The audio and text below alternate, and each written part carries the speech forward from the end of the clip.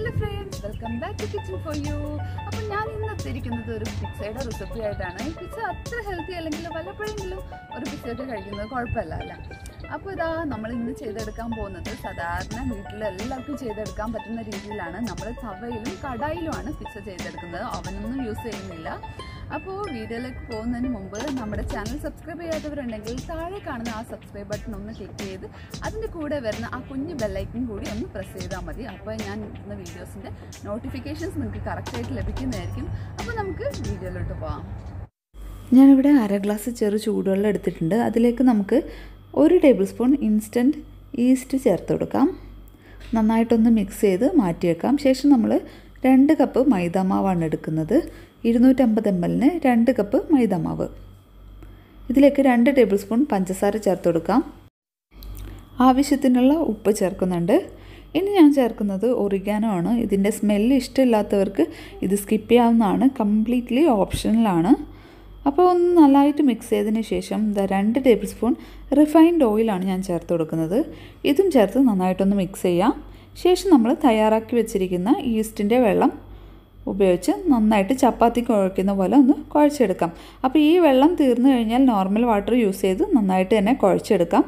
ഈ ഒരു പരുവത്തിലാണ് നമുക്ക് കുഴച്ചെടുക്കേണ്ടത്. ചപ്പാത്തിയേക്കാളും കുറച്ചൊന്ന് ലൂസായിട്ടാണ് നമ്മുടെ മാവിരിക്കുന്നത്. നന്നായിട്ടൊന്ന് റോൾ ചെയ്തെടുക്കാം. കുറച്ച് ഓയിൽ തടവിയതിന് ശേഷം നമുക്ക് ടു ഹവേഴ്സ് ഇത് അടച്ച് റെസ്റ്റ് ചെയ്യാൻ വെക്കണം. ആ സമയം കൊണ്ട് നമുക്ക് പിzzയ്ക്കുള്ള സോസ് തയ്യാറാക്കാം. ഞാനിവിടെ ഒരു കാൽ കഷ്ണം ക്യാപ്സിക്കം എടുത്തിട്ടുണ്ട് രണ്ട് വെളുത്തുള്ളി ഒരു മീഡിയം സവാള കട്ട് ചെയ്തത് ഒരു തക്കാളി ഇതുപോലൊന്ന് വരഞ്ഞെടുത്താണ് കത്തി വെച്ച് വരഞ്ഞെടുത്താണ്. ഇത് നമുക്ക് കുക്കറിലോട്ടൊന്ന് കുക്ക് ചെയ്തതിന് ശേഷം ഈ തക്കാളിയൊക്കെ തൊലിയൊക്കെ കളഞ്ഞ് നമുക്കിത് നന്നായിട്ട് തന്നെ ഗ്രൈൻഡ് ചെയ്തെടുക്കണം. ഇതൊന്നും പറ്റാത്തവർക്ക് പിസ്സ സോസ് ഷോപ്സിൽ അവൈലബിൾ ആണ്. അത് വാങ്ങിക്കാം. ഞാനിവിടെ ഒരു സോസ് പാനിൽ കുറച്ച് റിഫൈൻഡ് ഓയിൽ ഒഴിച്ചിട്ടുണ്ട്. രണ്ടല്ലി വെളുത്തുള്ളി ചേർത്തതിന് ശേഷം നന്നായിട്ടൊന്ന് സോട്ട് ചെയ്തെടുക്കാം. അപ്പോൾ ഇതാ നമ്മുടെ പേസ്റ്റും ഇവിടെ റെഡി ആയിട്ടുണ്ട്. ഞാനിത് നന്നായിട്ട് തന്നെ ബ്ലെൻഡ് ചെയ്ത് ഒന്ന് അരിച്ചെടുത്തിട്ടാണ് ചേർത്ത് കൊടുക്കുന്നത്.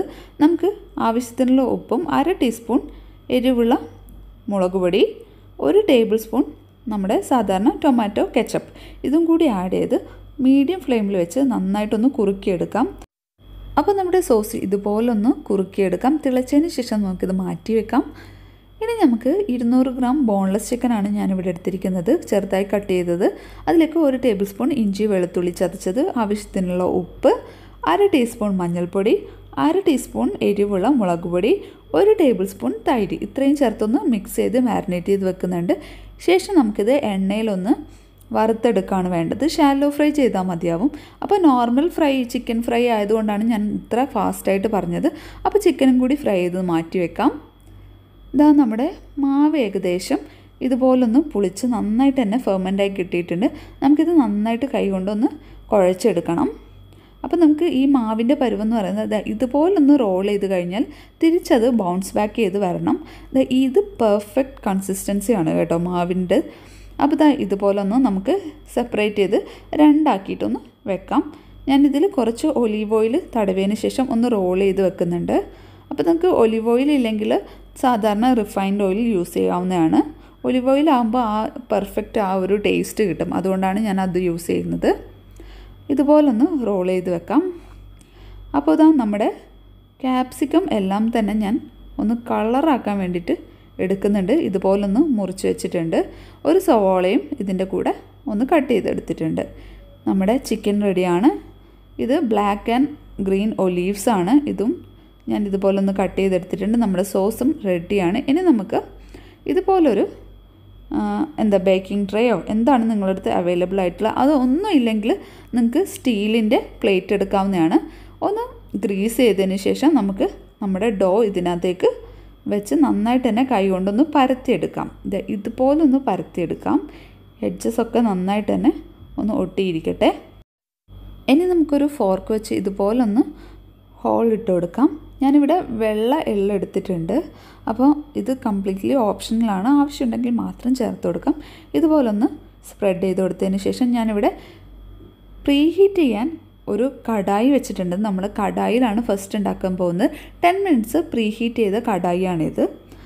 അപ്പോൾ ഇത് ഇതുപോലെ ഒന്ന് നമുക്ക് വെച്ചതിന് ശേഷം അഞ്ച് മിനിറ്റ് നമുക്കിത് ലോ ഫ്ലെയിമിൽ ഒന്ന് കുക്ക് ചെയ്തെടുക്കണം. ഞാനിത് അഞ്ച് മിനിറ്റ് കഴിഞ്ഞ് എടുത്താണ് നന്നായിട്ട് തന്നെ സോഫ്റ്റായിട്ട് കിട്ടിയിട്ടുണ്ട്.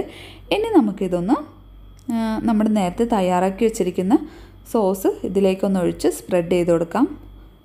കുറച്ച് മൊസറല്ല ചീസ് ഞാനിവിടെ എടുത്തിട്ടുണ്ട്. അപ്പോൾ അതുകൂടി ഒന്ന് സ്പ്രെഡ് ചെയ്ത് കൊടുക്കാം. ഇനി നമുക്ക് ചിക്കനാണ് ഇത് വൺ ബൈ വൺ നമ്മൾ തയ്യാറാക്കി വെച്ചിരിക്കുന്ന എല്ലാ ഐറ്റംസും ഇതുപോലൊന്ന് നന്നായിട്ട് തന്നെ ഒന്ന് സ്പ്രെഡ് ചെയ്ത് കൊടുക്കാം. ഓണിയൻസ് സ്പ്രെഡ് ചെയ്യാം.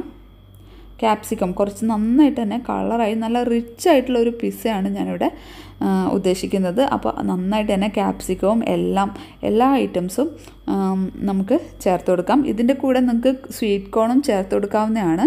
അപ്പോൾ ഇത് എല്ലാം ഒന്ന് വെച്ചതിന് ശേഷം നമ്മൾ വീണ്ടും ചീസിനെ കൊണ്ടൊരു കോട്ടിങ് കൊടുത്തിട്ടുണ്ട്.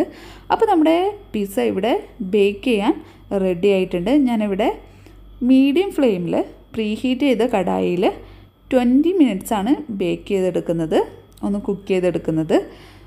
അപ്പോൾ ഇതാ നമ്മുടെ ട്വന്റി മിനിറ്റ്സ് കഴിഞ്ഞിട്ടുണ്ട്.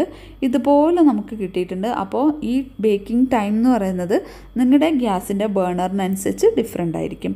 ഇനി നമ്മളിതാ പാനിലാണ് ചെയ്തെടുക്കാൻ പോകുന്നത് പാൻ പിസ്സ.